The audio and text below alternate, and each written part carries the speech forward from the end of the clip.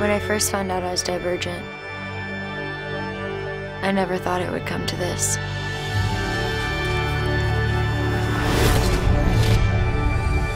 I could never imagine that I'd be standing here.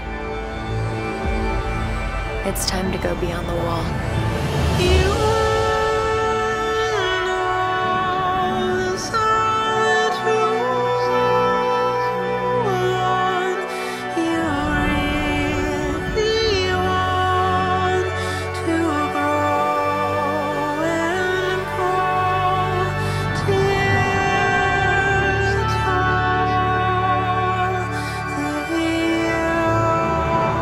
Tris, this is not the place that we thought it was.